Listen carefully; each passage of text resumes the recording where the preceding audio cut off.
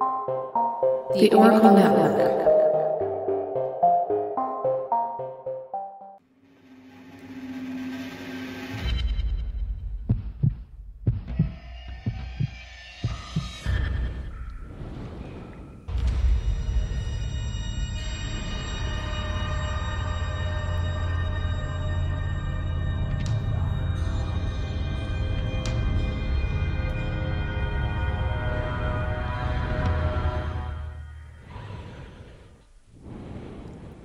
Welcome to Brew Crime. I'm Mike, and my guest today is. Hey everybody, it's JT. I'm here, formerly known as True Crime Lab. I'm back for uh, our specific episode. Woohoo! So this is gonna be Virginia crimes because that's where JT's from. so we'll see some of the crazy shit that happens in his state. There's there's definitely enough now, let alone looking back. So Absolutely. So I think this episode I'm gonna go first, but we'll start out with the beer pairing. yeah, So I went with Home Sweet Home because this is JT's Home Sweet Home. and this is a collaboration beer, actually, which is kind of funny because it's a collaboration episode between Hey. Yellow Dog Brewing and Dageraad Brewing. And it is a pineapple passion fruit barrel aged fruit smoothie sour, which is a very long name. it's a mouthful. 5.7% alcohol and it is it pours like sunny d or something like it is super murky It is. the head disappeared right away It's gonna go down so well. yeah i should have froze it partially Ooh. well you know fruit smoothie Mm. yeah it's tons of pineapple some passion fruit it's definitely very very very fruity it's a little hint that it's going to be tart in the nose but yeah it just smells like fruit juice it tastes like i put fruit juice in a um soda stream basically carbonated Fruit fruit, ju- juice with alcohol Fruit juice, hops, and soda stream. Yeah, you know that sounds like a awesome. great combination. that sounds like a bitch to clean out that uh, soda stream but wow this is really I- good I wouldn't want to see what happens when the soda stream goes wrong with that one. no yeah Boom. supposed to put in like water and then add flavor to it later. I know, but yeah i mean you showed it to me when you just poured it and in the you know the 45 seconds that it took for you to like show it again to me on the screen the the head was gone yeah, oh yeah, definitely, like almost gone. instantly gone. yeah But it's got it's got some like uh sparkliness when you sip it. Like it's very carbonated still, even though the head disappeared really fast. yeah That's quite good. I like i like uh i'm i'm a fan of sours. I like something that makes my mouth go what the hell did you just make me yeah, makes your mouth water a little bit. yeah yeah yeah. Um those are some of my favorites but i also like beers that are you know meals. So Yeah, yeah you know.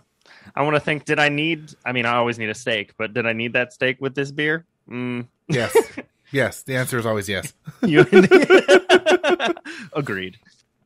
All right, well, I better get into the story then. Let's do it So I'm going to be covering the Golden Years Killer. Now, it sounds like there was more than one Golden Years Killer that was happening at this time, but Mhm. this one seems to be uh, dubbed the Golden Years Killer. okay So I don't personally know a lot about the state of Virginia or Richmond in general, and this was a new case to me. So well i will confirm or deny slash tell you how far they are from me Oh, okay, perfect, perfect. So from 1990 to 1996, a string of horrible deaths would happen to older women in the Richmond, Virginia area, totaling mm-hmm. 14 women. wow There didn't seem to be any rhyme or reason to what was going on, and little to no lead seemed to be present. good grief Yeah. 1996 would finally see an end to the murders, but not until a horrible string was undertaken. January 1st, 1996 would start off with a horrible bang as a 75 year old Lucille Boyd would be beaten and strangled in her home. good grief Yeah. Her body had been placed face down in the bathtub. Her back door had been kicked in while the intruder entered the home. Lucille had lived in that home for more than 30 years, all of that alone. She had worked as a clerk for the Federal Mogul Corp, and after that, she had worked as a secretary for Air Conditioning Supply Inc. I don't know if you've ever heard of either of those, but Uh, nope. nope. But it's, I mean, it's my backyard. You know, Yeah. I mean, if that's maybe that's giving too much away about my location, but I mean, literally right there. So it also sounds a lot like, uh, and I don't know. We'll probably we're, we'll get into a pattern of some sort. Yeah. You did say random, but it sounds a lot like uh, Timothy Spencer, who was the South Side Strangler. That happened in Richmond as well, and he killed five people fairly the same way. There was there was a podcast, uh, Southern Nightmare, that actually covered it really really well. It's very it's very similar, other than the ages. yeah. But I'm interested to hear about the rest of this. So I hope that um, at 75 years old she was retired, but I'm not even sure. It kind of sounded like she could have still been working. welcome to America. We're, we work till we're dead. I know, right? I'm sure it's not unique to our country. No, Um, it's it's happening everywhere. I mean, it's definitely Yeah. like that here. yeah. So next up, Mamie Verlander would be murdered on March 28th at the age of 84. Mm. Her body was sadly found by her nieces and nephews as they had just arrived at her home as it was her birthday and they were going to celebrate the day. Good grief. Yeah. While she never did have any children of her own, she treated her nieces and nephews like her own, and they would say that she was an extraordinary woman. At one time, she had worked at the Library of Virginia and uh, was even able to help author Douglas S. Freeman find information for the books he was working on at the time. I'm not sure who he is, but he seemed to be uh, important. Doug Freeman. I, the name sounds so familiar as I sit here vigorously typing. Yeah. He was a historian, biographer, newspaper editor. Oh, there you go. Oh, he did he did multi-volume biographies of Robert E. Lee and George Washington. Ooh, so that's probably what she assisted him with. Welcome, welcome to the South. We do biographies on Robert Lee. Uh, yep. There was talk of a Cadillac being found outside of Mamie's home on the day that she was killed that was reported stolen from a home in which another victim was living. Wow. I find it a bit odd, though, that it seems Jan Foster, 55, who lived at the home where the car was stolen, was not found until April 22nd or 23rd, almost a month later. So it seems weird. So first off, she's a lot younger than the other two that we've talked about. Yeah. right? We had like 73, 84, and now 55. So I don't know. I mean, looking back, you know, couch quarter, quarterbacking or whatever, it's kind of easy to, to link it up. I don't know how easy it was to figure out was that car stolen, where it was stolen, Yeah. and are we going to follow up? It, it- I don't know when they got that info. Do you know? My next line was maybe the car was stolen before her murder, but I'm Yeah. not sure because it just, there was no information. It was really vague Yeah. and weird that it would be missing Yeah. that long. Yeah, I mean, and maybe she. There are so many things that could go into not reporting a stolen car. I mean, or you know, it was just one of many at the time that were reported, and good luck finding it. You know, a lot of times stolen cars are stolen cars. If it wasn't notated that, um, who was the woman again? that The car was stolen from That was Jan Foster. Jan Foster. So if she wasn't found to be dead and have had been dead for quite some time, I'd say that she probably just didn't report it, Yeah, it could be. or it just got lost. Yeah. She had unfortunately been killed in a similar manner, being strangled to death in her bedroom. God. Jen held down a job at a local mall cleaning up tables at the food court. She was development disabled and known as a slow learner and sadly had never made it past second grade and never learned to read or write. So that could even Okay. like, go into that not reporting. Yeah, very well could have. I mean, just a one piece of bad advice or something. Yeah. Yeah. It was a security guard that called authorities when it was noticed she did not show up for a shift at the mall. On the same day, Elizabeth Siebert, 69, was also found murdered in her bathtub. Elizabeth was living alone as her partner had passed away. She lived at the third floor in an apartment building. Elizabeth was expected to go on a trip with her church group the day after her murder, and when they did not see her at the church waiting to go, they went to check on her. Mm-hmm. Yeah. Then when they found that her door was locked and no one was answering the door, they found someone with a key and got access to the apartment. Sure. Unfortunately for the church group members, they found her body. Yeah, that's not. that is not preferable. Mm, I think any group would probably go investigate. yeah. And, you know, and it's more. How often do we hear that somebody doesn't show up for a commitment and then somebody goes to check on them? Right. Yeah. I mean, you know, we talk about such terrible things, but they cared, Yeah. right? And to go look, and if they wouldn't have, who knows how long it would have been. No, for sure. These murders didn't seem to bring in any clues as to who could have murdered these women, and the other 10 between 1990 and 1995, sadly. question Yes. because I don't I don't like have pictures of the victims up. Obviously, they were a little bit older. Were there? You, you mentioned that there weren't really any patterns. Was there any patterns to what they looked like? I mean, other than their age. I'll get into a little bit about how there Okay. could be some uh, connections to them. Yeah. Okay, okay, cool. I'm jumping ahead now. the killer would go dormant for a time until June of that year. Okay. The women had some connections though, as Mamie and Jane both belonged to a seniors social group at the Monument Heights Baptist Church. Okay. St. Mary's Hospital also found Elizabeth as a volunteer while Jane had applied for a job there only recently. It's a couple little connections.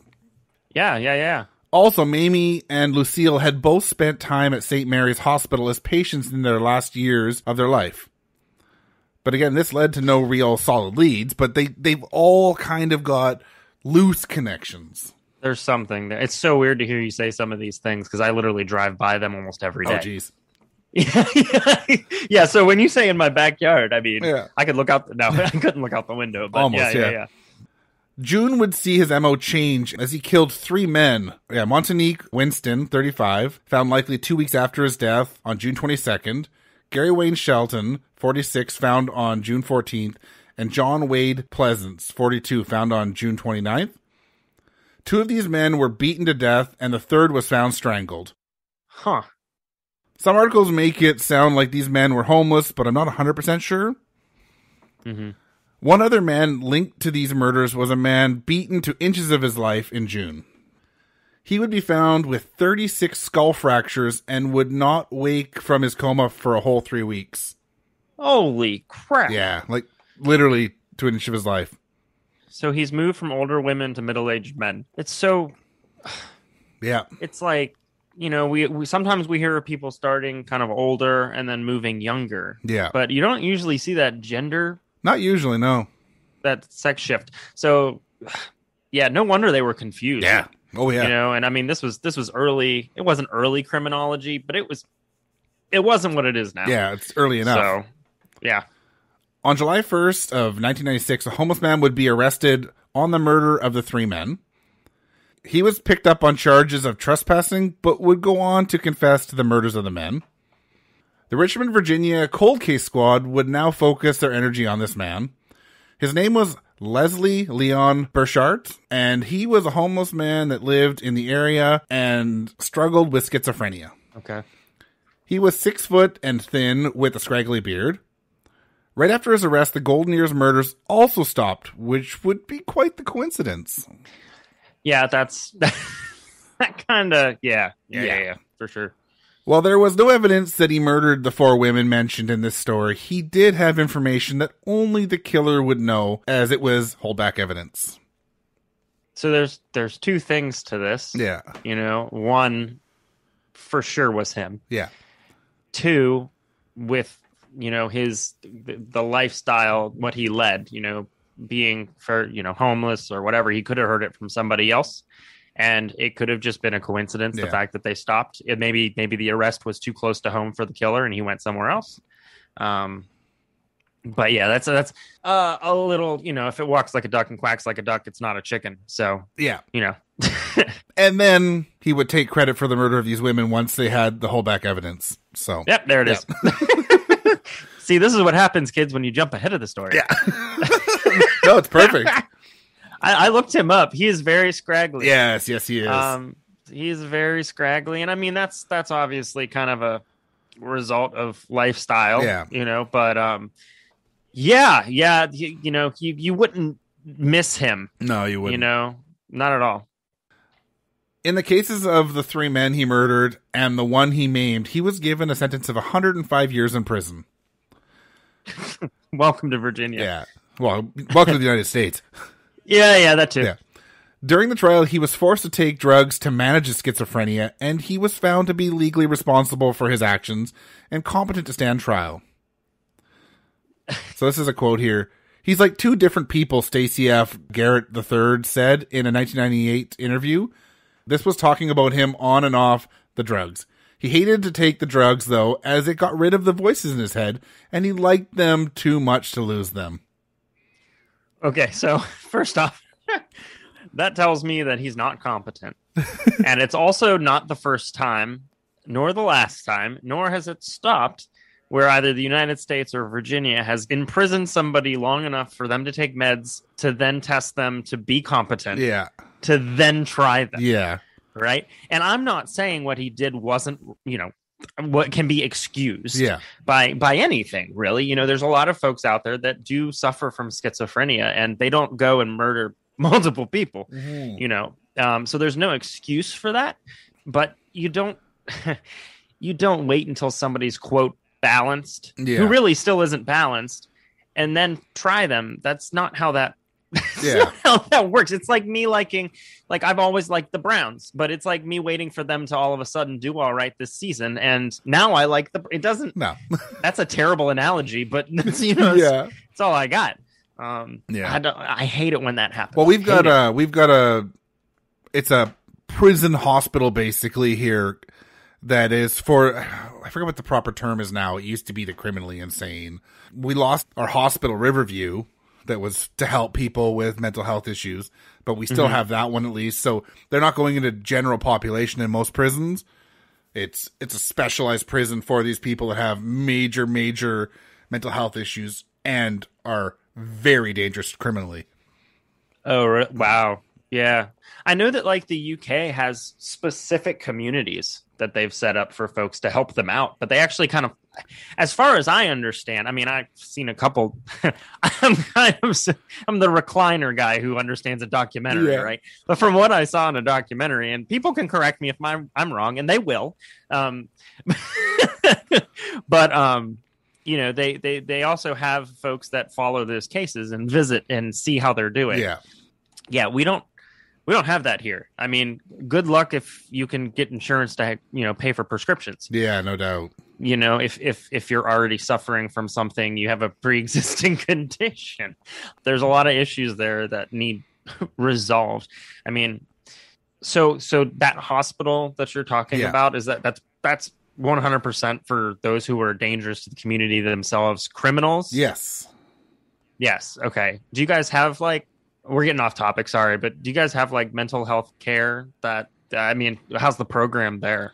Yeah, it's not great. I mean, Okay. unfortunately, mental health is not something that's covered by our medical really here. So, Sounds familiar. Yeah, that's the one thing that really doesn't have the great socialized medicine in Canada, unfortunately.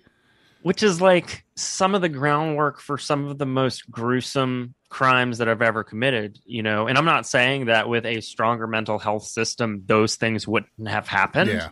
but we certainly could with a stronger system and more money to understanding the mind and the psyche and Yeah. that stuff i feel like we could stem a lot of stuff that goes on at least help people out Yeah, for sure. Here we go. I actually just found it here. The the name is Colony Farm, and there's actually a park around it, which is kind of interesting. And they call it a forensic psychiatric hospital. that is a really nifty way to say we keep people here that you don't want out there Yes. 190 Um, bed secure facility. just uh is it does it say anything about population is it overpopulated Uh, there might be 190 beds but like if it's anything like the american prison system it's way overpopulated I don't know. It's yes, a 190 bed security uh, secure facility in Coquitlam, BC that treats people who have been found not criminally responsible for a crime or unfit to stand trial due to mental disorder. okay But you, you don't go there if uh, it's Can- something minor. can you believe like I don't know what their process is in Canada, but but like somebody like um this fella who's given medicine found sane quote by the legal definition and culpable for for his crimes and then he's put into general pop of a regular prison Yeah, it's that's awful. that happens all the time all Yeah. the time They they And, need special um, treatment. They need to be put somewhere that they can get good treatment instead of uh, just being thrown to the wolves. right and you know a lot of people will argue they're criminals they don't need treatment but but here's the thing they're still people. human beings they might have messed up pretty bad Yeah. But, they might be you know, horrible people, but they're still people. Right. but we don't throw them in to be to like cleanse the population by you know and then and then you're just adding more crimes to the other guys who are in Yeah. prison Exactly. but you know we have a tendency of throwing criminals away quote criminals humans away Yeah. you know um, all exactly. right that's a that's a whole nother conversation for another day Yeah. All right. He was also sentenced to four life sentences, which I think were um, one count for each murdered woman, but it is a bit thin on the details for these cases. So it it, it could just be for the men. I'm not sure, but well, interesting it doesn't really matter at this point because he's never leaving prison, right? yeah no Mm-mm. He would also take credit for one more murder of a man that was never found by the police, so we don't know. okay So later he would claim that he only confessed to the Golden Year murders because, quote, I thought I could be a celebrity killer. If I couldn't be the best man in the world, I'd just try to be the worst man who ever lived. all right Yeah. Okay. I mean, he admitted to these things. He knew, quote, what nobody else would know, you know, which there's a lot of, there's a fine line there. Yeah. But, but, but the evidence must have been so thin on linking him to the golden years. Well, I guess if he had all this stuff that no one else knew. Yeah. I suppose so. I mean, oh, Yeah. ugh. Yeah, I know. So, when asked to summarize his life, Bouchard said, There was so much negativity in my life. When I had a choice, I chose the negative one. Leslie Leon Bouchard did not have a happy life and was quoted as saying that his life had been so miserable and so devoid of accomplishment, he never would have crawled out of the womb if he had the chance to do it over again. wow. Yeah. He grew up in South Richmond and would work in menial jobs up until he was 29. It was then that he would seek treatment for his mental illness. He would drift his way to the Central State Hospital and then to Richmond Group Home for the Mentally Ill. Okay. Unfortunately, he would end up on the streets after a time. It was believed by many that his six month murder spree in 1996 might just line up with when he went off his medication. Yep. This is a quote from Leslie again. They kept me company when there was no TV or radio around, he said. They talked about heaven being a really glorious place. You can do anything you want to do in heaven. You can even do scuba diving. There's water in heaven. So, That's yeah, these are his voices. Yeah, I mean, we all have that inner monologue, but mine doesn't tell me to go scuba diving in heaven. no. Not at all. Sorry, man, can't relate. Yeah. In what seems to be 2002, Leslie Leon Bouchard was taken to Lonesome Pine Hospital on July 30th as he was suffering from an unspecified illness. He would die only days later on August 1st, but I was unable to find a cause for his death, so who knows if it was natural causes or whatever. Yeah, I mean, he didn't really. I mean, other he could have brought it on himself in prison, Yeah. and they didn't want to say anything about it. He could have swallowed a bunch of pills. He could have cheeked the pills and then swallowed Yeah. a bunch later, and they didn't want to add that to the statistic. Yeah. Um, there's been a lot of weird stuff that's happened in this state's prison system. So That's not good. no, no, it's not great, but uh, I mean that kind of goes for a lot of different places. Yeah, so, for sure. yeah. So it's just sad that if this man had been helped more with his mental health issues and maybe given more of a chance in life, these seven people likely would have lived many more years. The world needs to stop treating homelessness, addiction, and mental health the way we do, as it causes far more issues than just tackling the heart of the problem. Oh God, absolutely. I mean, Southern California and like San Francisco, the homeless population is insane. Yep. I mean, down the road in tents, right? It's a tent city, and and folks that move in there that want to like upgrade the city want to just push them out. But Yep. here's the thing: is that number one, they were there first, but number two, there's a reason why they were like that. So, can we actually talk about the crux of the situation and try to fix it? Yep. You know, rather than just kind of being like shoo. Yeah. Um, Well, if you- that does nothing. If you delete California and you say Vancouver, it's the same exact problem. Um, oh, really? when they closed Riverview Hospital here years ago, most of the people there ended up on the downtown east side of Vancouver. There's homeless camps in Strathcona Park, which is in the neighborhood next to downtown east side. It's huge. There's all kinds of crime and violence because of fentanyl and drugs. The city's not spending money to deal with it. The the police just use violence and nothing else. That's the thing. If they would have just done the work ahead of time and been like, okay, we need a place for these folks, Yep. they wouldn't be spending so much trying to now react. Well, another problem what too happened. is that you know decades ago, a lot of provinces in Canada to deal with their homelessness issues, they gave their homeless one-way bus tickets to Vancouver because our winters aren't as cold. What? Mm. Yeah, yeah, it's kind of. That's interesting. yeah. It's horrible, and yeah, they may not freeze to death as fast here because it doesn't get so cold, but you know, wet and close to freezing is still just as deadly. and now they're in a place where they don't know anybody. Yep. They don't have any connections, and they don't even have a chance. Yeah. What um what shut down that hospital? Do you know? Uh, budget.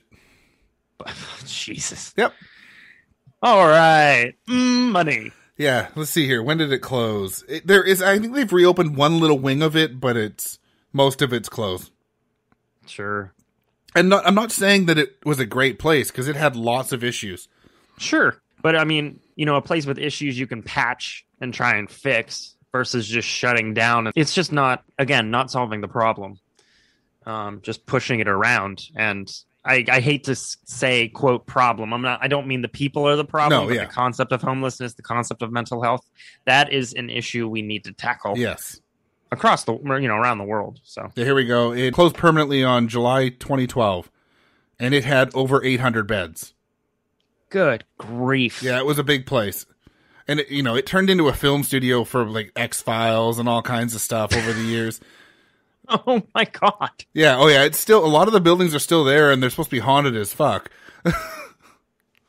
I mean, I believe it. Yeah. I believe it. But yeah, that that's my case. dude that's that's wild number one it's wild that it happened in my backyard Yeah. but uh you know it's it's also wild that it was very close to the the south side strangler did it did any did any sites any sources that you found mention what he strangled them with No, they didn't. And No. I also Okay. did notice though, once I had finished writing that, I Mm-hmm. found there was actually a woman that was uh, found to be responsible for a couple of the other murders that were the Golden Years murders. But I, I didn't follow with that because that wasn't the case I was doing. But there's more to this story even. wow women are known to poison right but you know strangulation and Well, elsewise i don't I don't know. I don't know how they were killed. I, I, Oh, I didn't go down Gotcha. that rabbit hole, but more of Yeah. these, like, because how many women did I say were killed overall here? Psh. see that's why you have a life and i don't i just keep going down the rabbit hole Here we go. There was 14 women total, and he only killed five, right? So yeah there there was a bunch of other women too. They were all the Golden Years murders, but he was the Golden Years killer. it's like the detectives of richmond were like well we got our man Yeah. for every one of them Yeah, exactly. and you didn't. I'm sorry. Wow, yeah. that's amazing. What a story. hmm What well, what a case. It's not a story. Yeah, it's a what case. a case. Yeah. Let me get that right.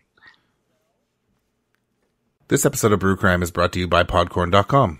Hey, fellow podcasters, have you ever wanted to start monetizing your podcast? The cost of a website, audio hosting, equipment, and swag can all add up really fast if you're not careful after all. This process can feel like a daunting task, as I know, but Podcorn makes this really easy. Now, indie podcasters no longer have to try and reach out to corporations and try to sell them on putting ads on your show. Podcorn takes that step as they find the brands that want to work with podcasters and collect them on their website's marketplace. From the dashboard, you can reach out to those brands and pitch them on what your show can do for their brand. You can pitch all kinds of promotional spots such as pre-roll and mid-roll host-read ads, interview segments, topical discussions, and more. Not only do they find the prospective ad partners, but you get to set your rates. Podcorn also protects and supports your show to ensure that you get compensated for the work you do for these brands. We've been lucky enough to work with the awesome brands Best Fiends, Ballsy, and Hi-Fi Candle Studios on top of working directly with Podcorn.com. So if you're looking to take your podcast to the next level, make sure to head to Podcorn.com now and sign up. You will not be disappointed with your choices. Explore sponsorship opportunities and start monetizing your podcast by signing up here at podcorn.com slash podcasters. Well, are you ready for mine? Absolutely. It's uh it's a little wild. We we go a little bit all over the place, but that's okay. I wish I had a clever title, really. Um it's kind of like the RPG vampire slayer murder. I don't know. I'm burying the lead. Buffy the Vampire Slayer. Okay. Yeah, yeah, yeah, yeah. So typically, what you know, I was talking to you before, but what I used to do is I'd I'd cover kind of the location and a little bit more about that area, just so you get a good idea of how this person grew up. So Clara Jane Schwartz is our is our um is our criminal quote who who we're talking about today. This this crime happened on December 8th, 2001. It was a murder parricide. Uh, her father, Robert Schwartz, um, was the one who was killed. He was stabbed with a two foot long sword. Oh, geez. Yeah. And this happened in Leesburg, Virginia. A little bit about Leesburg for, for those who don't live around here. Uh, Like Yeah, me, yeah, yeah, yeah. I've never even Yeah. heard of it. so It exists, it is does it? 33 miles west northwest of DC.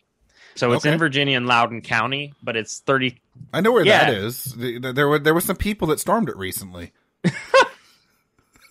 well come on in um so it was it was founded around the french and indian war in october of 1758 and in 2019 the population was around 53700 Okay.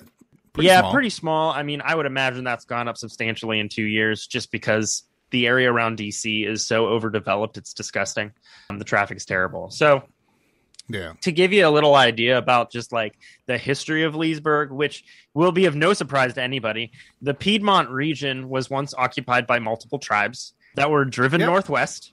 They occupied the area for 400 years. And uh, yep, That's yep, it? that's about right, isn't it? Yeah. Um, 1699, the Algonquin Piscataway, I hope I'm saying that right, moved to an island in the Potomac around the area of Leesburg, and they were there when Europeans visited what is now Loudoun County. So, as Tidewater planners moved into the area from the south and the east, obviously European settlement showed up in the late 1730s. Um, I say, I say obviously, Okay. like everybody knows the history. So, Leesburg happened kind of sometime in before 1755 the village located there prospered for what they were doing. The British Colonial Council basically ordered the establishment of the county courthouse. Therefore, you know, you get a court. It's like nowadays you get a Dollar General and it's it's a real town. Then you got a courthouse, boom, you're good to go. So that year in October, the Virginia General Assembly founded the town of Leesburg on 60 acres. Now Leesburg's Okay. almost 8,000 acres and it was renamed to honor Thomas Lee, who lived in Loudoun County. A lot of people think like General Lee or whatever, but this was actually Thomas Lee.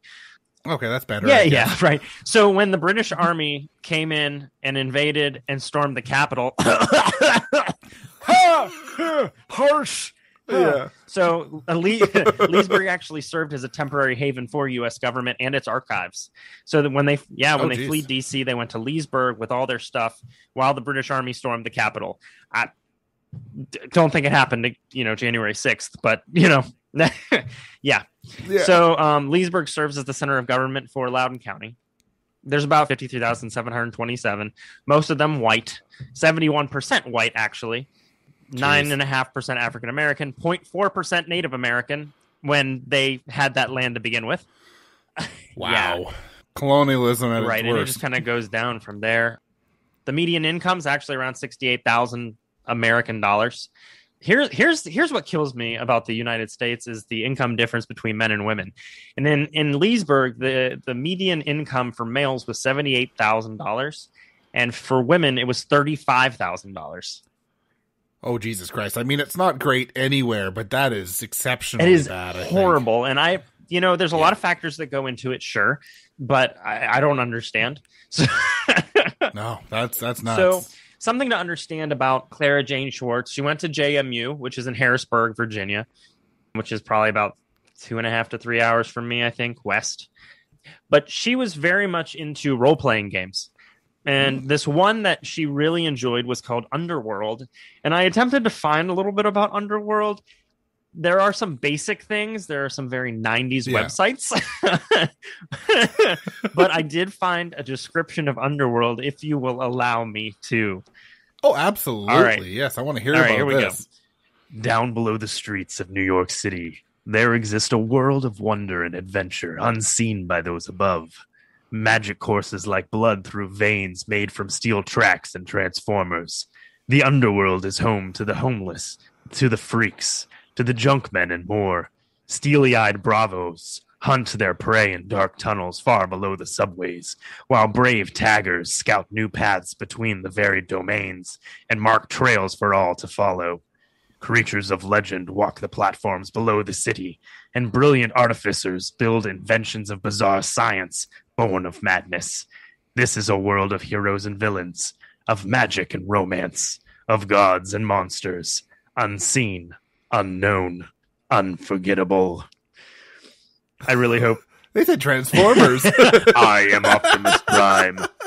yeah. Starscream. Please, please, uh, please add some epic music behind that. Um, Do, do, do, do. yeah, that's that's the epic music. that's like that's like Sir Robin's song from Monty Python. Yeah. Um, Brave Sir yeah, so Robin. it's um, so it's an adventure game, and it's either tabletop, live action, play. So there is some live action role playing, so LARPing sometimes yeah. involved. So Exactly, and really all you need are the guidelines in the book. Yeah. it's uh, it's it's it's easy to understand. I mean, if you're even remotely familiar with like role playing, you actually heard the different types of like characters you can play in the actual description. It's quite interesting, and it's kind of it's rated mid to high. I mean, I was actually reading reviews. I told you I go down rabbit holes yeah. which were quite fascinating. So Clara Jane Schwartz was really into this. She was really into Renaissance fairs, all that kind of stuff, and Renaissance in a second hero play part. So the murder of Robert Schwartz occurred December 8th, 2001. It was orchestrated by 20-year-old daughter Clara Jane Schwartz as part of a fantasy role-playing game. Robert Schwartz was actually he was prominent in the scientific community. He had ties to the occult and role playing. It was bound to get picked up. This this whole case, you know, I mean, you you mention role playing and everybody's hopping on it like, "Oh, Satan," you know, um, which they might not have been wrong this time around. so he was in terms of I said he was prolific in the scientific community. He was nationally renowned uh, in the field of biometrics and DNA research.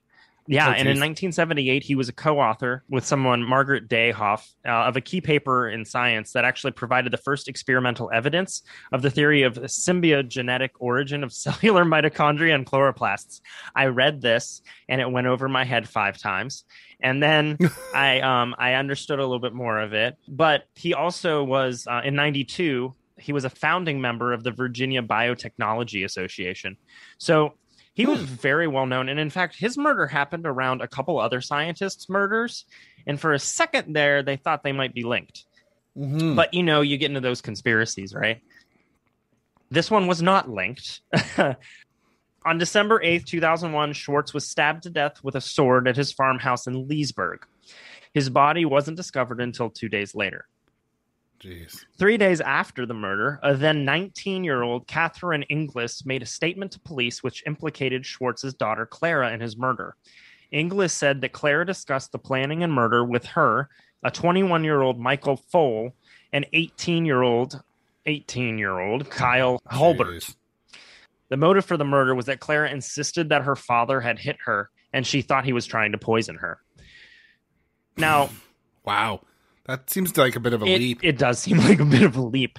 I don't know whether that was just pure justification for we need to do this or if she actually thought something was going on and maybe something, you know, yeah. something bigger was happening. But in terms of Clara Schwartz, she was a sophomore at James Madison University, like I mentioned at the time of the murder.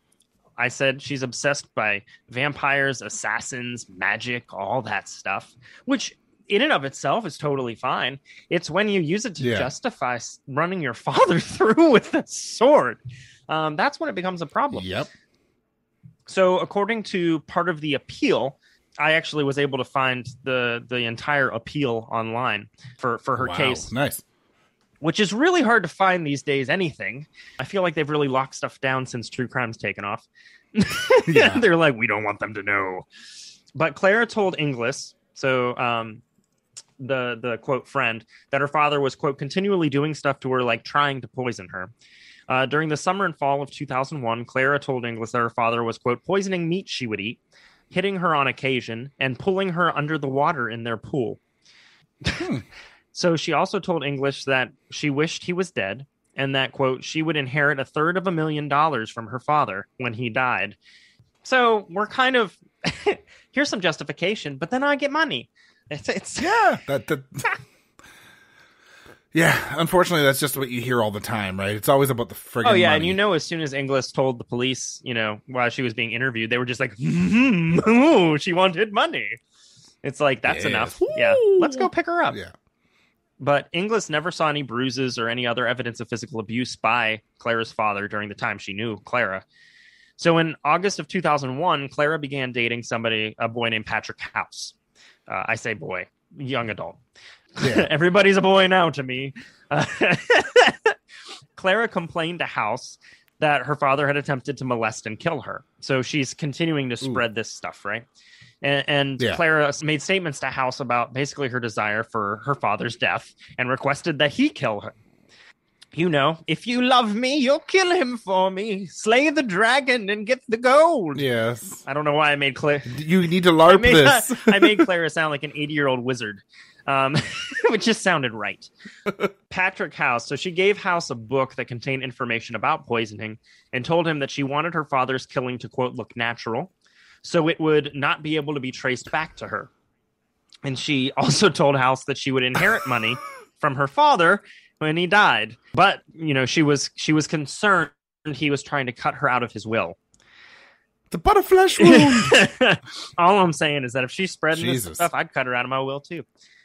But uh, I think all of this is just Not with the sword. this is all just a story she's concocting. This is all. Yeah. I think she's really taken to role playing. Let's be honest. Um, Yeah, it sounds like so it. in September of 2001, Clara went out to dinner with House and Inglis, and during the meal, Clara said that her steak had been poisoned and speculated that her father had gotten in touch with the cook. I don't. Okay. So later, Clara asked House when he planned on killing her father, and House responded, "When the time was right, it would happen." And I see that as him saying, "I ain't gonna do that, but I'll keep telling you what you want to hear." Yep. um, yep. What's in it for me? exactly, exactly, right? So that same month, Clara met somebody named Kyle Hulbert at a Renaissance fair in Maryland. I've actually been to this Renaissance fair, if I know the one that they're talking about. It is massive. And I mean I bet. massive. So she met this guy at a Renaissance fair. I mean, this is like her bread and butter. This is this is where she was born to be and they quickly became close friends. And uh, Hulbert also became friends with Inglis and Inglis's boyfriend Michael Full. On Thanksgiving weekend, Clara arranged for Hulbert to camp clandestinely, which is hysterical to me, Yeah. in the woods near her father's house. Inglis and Full dropped Hulbert off after dark, and the next day, Hulbert went to the house to see Clara. During the brief visit, he met Clara's father and older sister, and during that visit, he actually showed them a sword he had with him. So he showed them the sword, and then he went. Soon thereafter, I I I find this really strange that somebody arrived at my Yeah. farmhouse with a sword to see my daughter, right? Yeah, it's a little a little worrisome. So strange, I called it a sword. Sword. so soon thereafter, Hulbert, who actually actually asked Clara to send him money for gas, so Full could drive him drive them for gloves and a quote do rag to prevent him from leaving hairs at the scene. Oh boy. And then on December yeah, on December 6th, Clara wrote Hulbert a check for $60 and sent it to him overnight. So, Thanksgiving, he shows basically the family the murder weapon. He leaves, and then December 6th, she pays. Now, on December 8th, Inglis and Full dropped Hulbert off near Clara's father's property. Hulbert had his sword strapped to his side, probably feeling pretty badass. I mean, I can imagine. yeah, I feel pretty- That's quite the I feel LARP. pretty badass too. So he proceeded on foot to Clara's father's house. And when Clara's father answered the door, Hulbert entered the house and killed him. Basically, walked in, pulled the sword, and he stabbed her father th- over 30 times with the sword. Jeez. I mean, I- mean, if you're gonna have a sword, like stab, that's not what a sword is for, unless it's one of those like fencing Right. swords or saber swords. Haha, I've got you. Yeah, like if if it's like a European sword, it's about slashing and hacking. Well, he wasn't a very good LARP, But I mean, the That's thing, true. the thing about stabbing and stuff, and correct me if I'm wrong. I've been out of the game for a little while, but I mean, it's a very personal thing. Um, Yeah. So I think, I mean, other than the fact that he was pushed by role playing, um, or maybe Clara asked him to do it that way because it was personal to her. I don't understand why he had to stab him 30 times. Yeah, no, that's that's definitely Uh, Yeah. overkill. But the next day, Hulbert told Claire on the phone that he had killed her father. Well, you know, Inglis talks to the police. Clara is arrested. She's taken to jail. Clara told her cellmate that the plan was for Hulbert to kill her father, quote, because if anything came up, he would take the blame because he had mental issues. Oh, Here we go. Right. I didn't mean for all that to link up nicely, but Yeah, wrap no it up in a doubt. bow, why don't we? Hulbert actually had a history of mental disorders. He had a diagnosis of paranoid schizophrenia, hyperactivity disorder, jeez. and bipolar disorder. His family had basically found him too difficult to handle. So he'd been in several psychiatric institutions, which obviously did nothing, right? Nothing. Yeah, I feel bad for I know. person. And to be honest with you, he probably felt in some way with this role playing or the, I don't know, that he felt like he belonged because he could pretend to be somebody for else, sure, right? Definitely. And Clara played into that like it was a you know an Emmy nominated role. Oh yeah, played him like a puppet. Right, and and so it turned out that he was also deeply involved, like I said, in role playing, and that involved vampires and stuff like that. And you know, we all know that these games don't cause somebody to become violent. You know, and the majority of folks Nope. who are involved in live action role playing stuff, they're in it for fun and creative outlets, right? Oh, for sure. Yeah, I know. I know some larpers, and I lot. I know lots of people that play role playing Mhm. games, but I they're all really nerdy, fun people. I am one of them. you know, and I'm not just like fighting for it because I, you know, I'd tell you the truth if it did. Um, but LARPs also have have a have a habit of attracting mentally unstable folks because it encourages their delusions or what they're they're imagining in their heads. It basically encourages Yeah. those things. It's like I can live this out. Um, this is legit. Yeah, and you can just you can just live your your own live in your own world instead of having to live into the shitty world we all right. Not live only in. that, but now I'm justified because everybody else is living in my world too. Yeah. and uh, so Hulbert was was a larper because of that, and he had a fascination with medieval wizardry and weaponry, and he eventually offered a pretty chilling seven page confession to the police. Jeez. February 2nd, 2002, she was charged with the crime. She was formally indicted for murder as well as conspiracy to commit murder and solicitation of murder charges on March 31st. The other three, Inglis, Pfohl, and Hulbert, were all previously indicted for Robert Schwartz's murder. So her her three friends were indicted before she was. I think they were just racking some stuff up and probably gathering testimony. Yeah. So Clara was the first of her co-defendants to go on trial, actually. So she was indicted last, but first to go on trial in October of 2002. So almost a year, about two months short of a year. Clara was portrayed as a manipulative woman who used a role-playing game Underworld to convince her friends to kill her father. That's pretty much what happened. Sounds right. on point. and they yeah. said um, Clara Schwartz wanted her father dead. She had hated her father for a long time. And after failing to enlist the friend to kill her father, Clara became desperate for some reason. And this is why she found Kyle. The defense argued that Kyle Hulbert, Robert Schwartz's killer, had taken Clara's directives to kill her father out of context of the role playing game. Jeez. Can I don't there's that's not no, no, no, I'm no, no, sorry. no. that's not true. she wasn't rolling a d20 to figure out if he attacked. You know, like this wasn't. No. She told him, "I need you to kill this guy." yeah. That's a D six six exa- I like what you did uh, there. Ooh. But you know, they said, "quote Clara never intended for any person to kill her father." Obviously, not the case. Yeah, fuck Um, that. Not not true The all. prosecution's star witness was Patrick House, who was her basically her ex boyfriend. And that, uh, you know, Yeah. this is the one that she initially tried to get to kill her father. And he, quote, testified that Clara spoke increasingly about killing her father and that she researched herbal poisons because she wanted his death to appear natural. I don't know why she ended up going with a 26 inch sword. That's not very natural to me. It would have been in medieval times. Yes, yes, uh, but not in 2001. Um, despite No. Second leading Despite cause. how fucked up 2001 was it as a year? Nope. Not quite 2020 no, though. 2020 far outweighs. Well, I don't want. I don't want to. It's relative, right? Uh, but 2020 Yeah, was it's relative. pretty, yeah, pretty up. Uh, but House also testified that she spoke of how much money she stood to inherit if he died, and her concerns that he would cut her out of his will. And he stated that she became increasingly frustrated because he was not carrying out her wish. So she got pissed. You know, you're not doing what I Mhm. want you to do. So, the aftermath of everything. Um, October 16th, 2002, the jury convicted. So that means, let's see. So that was less less than probably 10 days. The jury convicted Clara of first degree murder. February 10th, 2003, she was sentenced to serve 48 years in prison. She's in Fluvanna Correctional Center for Women near Troy, Virginia. Um, that's actually two hours south from Leesburg and 24 minutes east of Charlottesville. So Okay. heading towards Richmond from Charlottesville. So she's actually made a ton of attempts to appeal her conviction. And the conviction most recently affirmed by the 4th District of the United States Court of Appeals on March 9th, 2010. That's the appeal that I found in terms of the info. Yeah. Kyle Hulbert, who killed her father, was sentenced to life in prison. Michael Pfohl was sentenced to 20 years. And Catherine Ing- Inglis served a one year sentence for conspiracy to commit murder. Um, I'm sure her testimony, the initial testimony, helped her out. Pfohl basically carted hit Hulbert back and forth, right, to the house. Um, so that was his bad.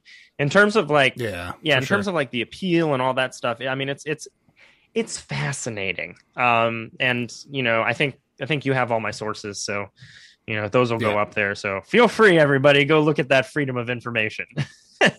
um, but this is one of those stories that I used to love to cover because it's just I don't love to cover it, but it's just one of those ones where it's just like, are you that stupid? Like you can't you can't you know you've got you've got high charisma but really low intelligence yeah, definitely. to speak in to speak role playing you know and uh it, it is it's quite unfortunate because i mean as far as i understood she was quite a bright person and i mean to to be sophomore year at jmu and there wasn't much in terms of what made her think that her father did that and i think the bottom line was she wanted money um yeah. I think that's what it came down to. And, you know, that's uh that is the murder of Robert Schwartz, stabbed with a two foot long sword. Jeez. Or a very long letter letter opener. Oh yes. You know what? You know what? And I bet you at some point Hulbert totally tried to do that. He was just let me just yeah. let me just let me just get it let me get there. He popped open cans with it. I mean, what else are you gonna do with a Yeah, no sword? I mean, other than put it up on display. I guess Shotgun beers. I don't know. you know, uh, I guess murder your girlfriend's father. Yeah. It- yeah. Definitely. I mean, it didn't even sound like they were estranged, you know. So, welcome to Virginia. It's for lovers and Yeah. sword Home sweet home, home. sweet home. You know, cue Guns and Roses. yeah, exactly. All right. Well, why don't you quickly plug your new podcast that's coming out this summer? Yeah, so I'm really excited. It's a whole nother ball game. I started in the true crime world. That's how I met you, which I'm so glad that I Yep. did. Um, tell your friends and tell your enemies about brew crime always. Um, but uh, I also had the the pleasure of meeting Eric from um, True Consequences podcast, and we decided to go a different route uh, with this one. So we're actually doing a show called Emergen-Tea, All Tea, All Shade, where we are going back to season one of RuPaul's Drag Race, and we are we are recapping every episode with each episode of the podcast. So it is a far departure from what we're used to, but it's something that we Yes. both need desperately, and I think this world needs um, because good grief 2020 and 2021 were trash enough so let's throw a little shade in there why not Yeah, could use some little bit of fabulousness, I think, yes right? please I've actually never watched RuPaul's Drag Race, but I've seen enough about RuPaul to know pretty cool. yeah Pretty cool person. yeah you know she's pretty cool she's had some some stuff pop up now and again you know I, everybody does Yeah. let's be honest Everybody Um, does, yeah. But I think initially what always drove me towards watching that show is just the sheer artistry that it takes to create that illusion. And those folks are so damn talented. But don't worry because Eric and I will definitely find some things to to make jokes about. Yeah. We will always find things to make jokes about. So Oh, it's going to be a fun time. Um, we'll also be talking about current events and throwing shade that way. And so it's good. Maybe may, maybe we'll make Mike watch an episode and he'll be on. Ah, I'm sure I'll watch an episode at some point. I'm not against watching it. It's just I don't watch reality. I don't. TV. I mean, I don't blame you. Again, we got enough drama in the real world. We don't, you know, need to watch it. But you know, the artistry for I'd rather real drama than fake drama. so not TNT that knows drama. Um, yeah. So, Yeah. all right. Well, Perfect. Well, I'll I guess I'll close the show out here right. then. Thanks for tuning in to Brew Crime. You can find us on all social media platforms at Brew Crime. We have a Facebook group at Brew Crime Group. If you'd like to support the show, head to patreon.com slash brewcrime now. The money goes towards upgrading equipment and making the show that much better. You get one bonus episode a month, as well as early ad-free access to our episodes. So shout out to our Patreon supporters, True Crime Nana, Three Biz In Podcast, Amber, and the Faves of Our Lives podcast. Cheers. All cases found on Brew Crime are written by Mike or the guest that appears on that episode, and the sources are put into the show notes for each episode. We always want to give credit to the people that research the cases we talk about. Check out the store at teepublic.com slash stores slash brew hyphen crime hyphen podcast, where you can purchase gear like t-shirts, phone cases, stickers, pillows, and all kinds of other cool stuff. Brewcrime's intro was created by Mike using Creative Commons Attribution License audio from purple-planet.com, soundbible.com, and freesoundeffects.com. Logo design by Ben Greenberg. Thanks for listening to this podcast, and it's been a production of Pacific Beer Chat. We have an active shooter. We have an active shooter inside the warehouse. Welcome to Active Shooter, a podcast that covers the whys, the hows, and the aftermath of active shooter events. We will delve into the lives interrupted by domestic terrorists. We will investigate the background of the shooter and together discuss ways in which they can be stopped or even prevented in the future. We will also discuss the failures of our mental health system. They have an active shooter in the building. A second call says they uh, are being attacked. I've been shot. 1692 means we got shots fired. 415 ASF. Route 291 sounded like an automatic firearm. But appears to be shots fired. We will look at the media responses and discover together how they may have inadvertently inspired and contributed to the rise of the mass shootings. active shooter, reports of an active shooter, active shooter, active shooter mass casualty incidents. This is not a political podcast, nor a podcast about gun control. This is a podcast that studies the psychology behind active shooters and how and why they make the decisions they have made to take the lives of innocent people. I love you. I love you. It's gonna be fine. Can you hide somewhere? Can you play dead? Welcome to Active Shooter. Thank you for listening.